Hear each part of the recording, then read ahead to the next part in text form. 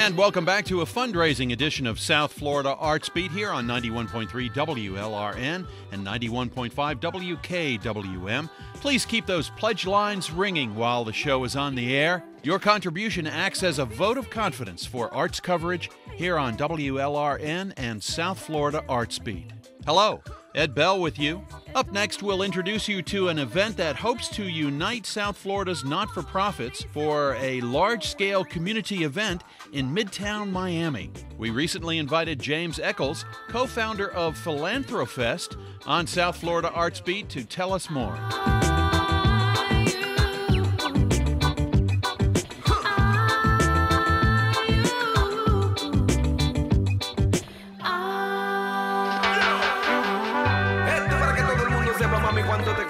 Mr. James Echols, welcome to South Florida Arts Beat. Thank you for having me on, Ed. First off, let's talk about Philanthrofest. What the heck is that? It's a uh, community festival up in Midtown. It's uh, designed to celebrate and uh, promote culture and philanthropy in Miami and all of South Florida, really.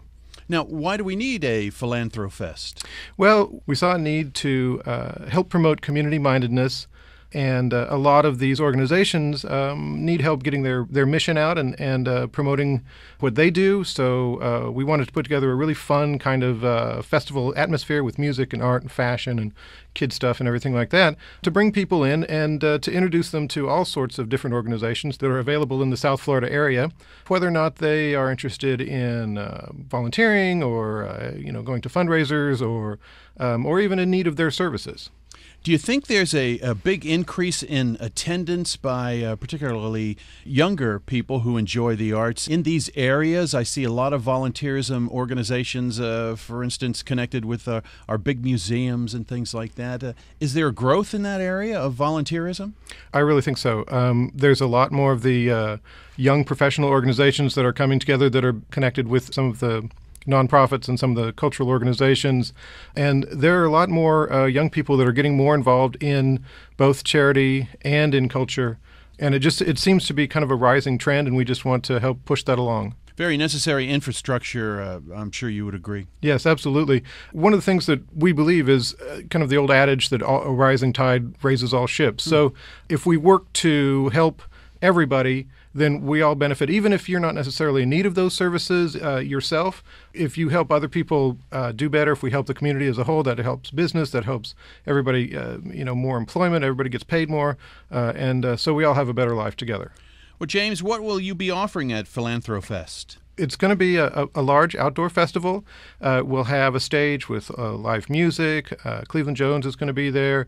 Uh, Danger Flow, Elastic Bond. Um, there'll be a large art uh, show with um, uh, lots of South Florida artists there showing. we'll have live performances. We'll have um, fashion shows. There's going to be a kids area for the kids to come and have fun at. And then we'll have uh, over 75 community organizations set up there that you can just wander around and uh, enjoy. They'll have interactive uh, activities at them, and you can learn about what's going on in, in South Florida. What organizations and people came together to make your first Philanthrofest a reality? This was put together by two organizations. Uh, mine is called Life is Art. We're a, a nonprofit that uh, promotes the arts in South Florida through events and education. And we joined with Miami Crawls, and they produce um, kind of party events to uh, raise funds for nonprofits. Uh, we've been around. Life is Art has been around a little bit over three years, and they've only been around eight months. But we've both been enjoying some very nice success, and uh, we wanted to share that with other organizations and with the community.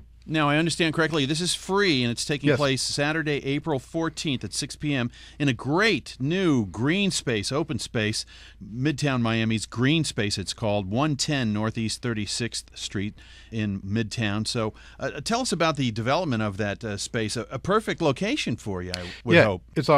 It's right there in the middle of Midtown. It's it's across the street from like Sakaya Kitchen. It's just down from Target.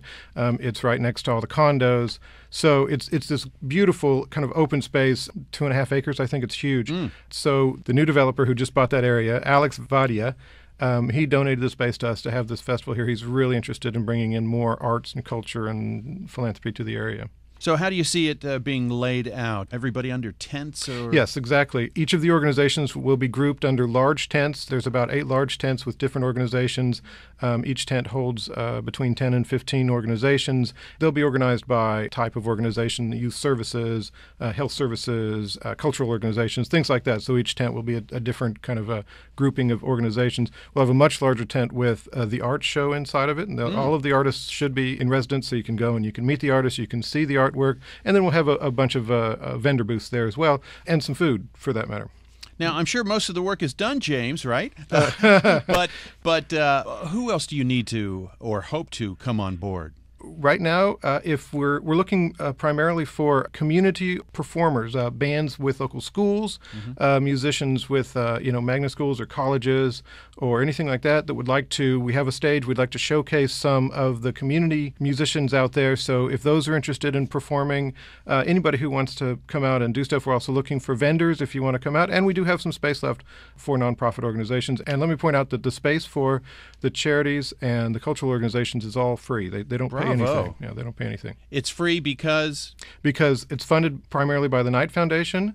Uh, came on with a big sponsorship, the Miami CRA, and we also have some private donors, and we're doing some fundraising. Like this past Wednesday, we had a uh, fundraiser at, at uh, Wood Tavern, a new place in Wynwood, and they donated their space and time, and we, we raised some good funds there. And actually, last month we had a fundraiser at the stage also, and, and we raised some good money there. So we also do, and we always do fun fundraisers, parties, and you know, music and and also, Mayor Thomas Regalado and Mayor Carlos Gimenez have both come on board as supporting this. They've given us letter support, and they're providing um, logistical support to, to help put this together for us. That's wonderful. Yeah.